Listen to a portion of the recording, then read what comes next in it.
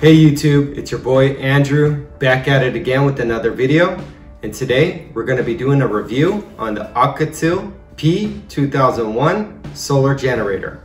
So let's get into it.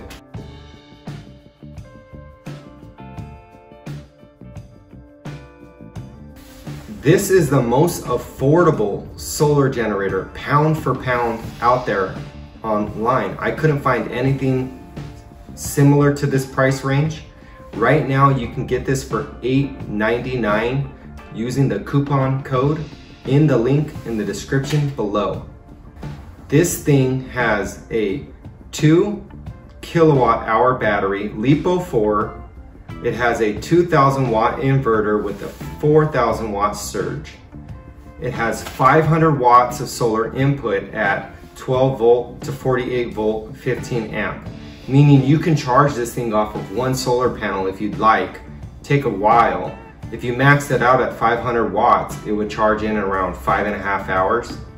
The AC input on this unit is 1100 watts in off the wall, which is great, and it just takes a AC plug. Now you can combine that with the solar input to charge this thing at 1500 watts, which is incredible. Could charge it from zero to full in about 90 minutes or less.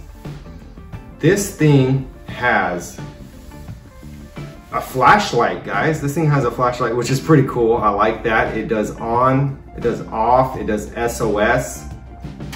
It has two USB-A ports, five watt, it has two USB um, A ports at 18 watts. It has two USB-C ports at 100 watts, which is great. They gave us two.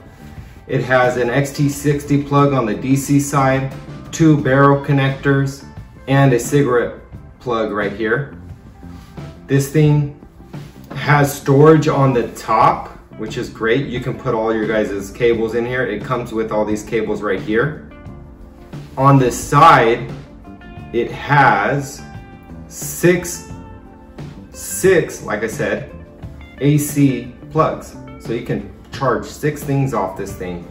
Now, my, I do have a gripe about the plug cover. It's great that they gave us one because you could just flip this down, but this thing does get in the way if you're trying to put like a bulkier plug in here. Um, there's no way to remove it without breaking it that I could find, which is, you know, downside, but it's okay. This unit also has a built-in UPS capabilities. As long as you, whatever you're powering is under 1100 watts, it works perfect. We just had a storm the other day and I put this thing to the test and it worked absolutely great.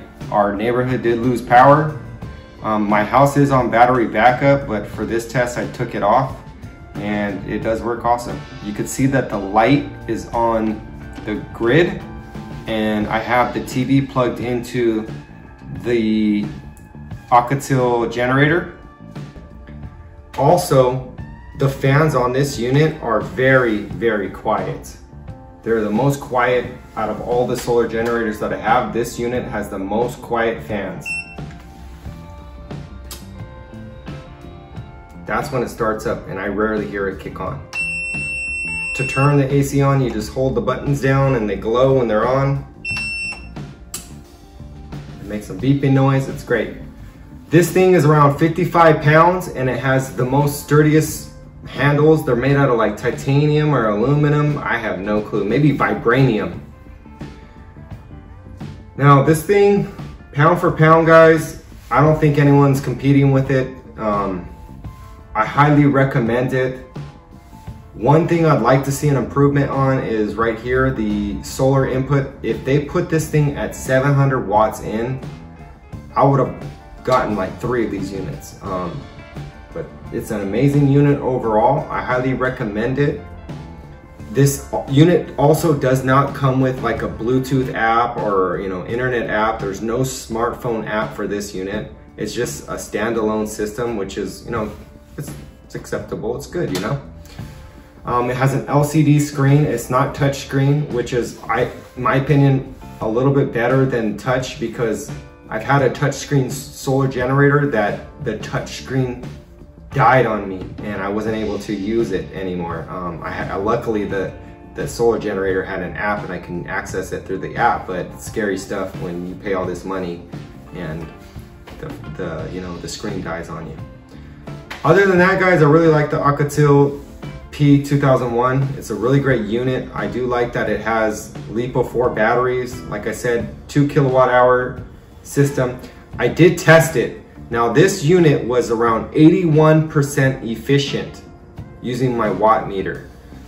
Pretty good stuff. It's on par with most of the other brands. I haven't seen anything else out there. The LiPo 4 batteries that are, you know, getting like 87%, 86, you know, I think the highest I've ever seen was around 85%.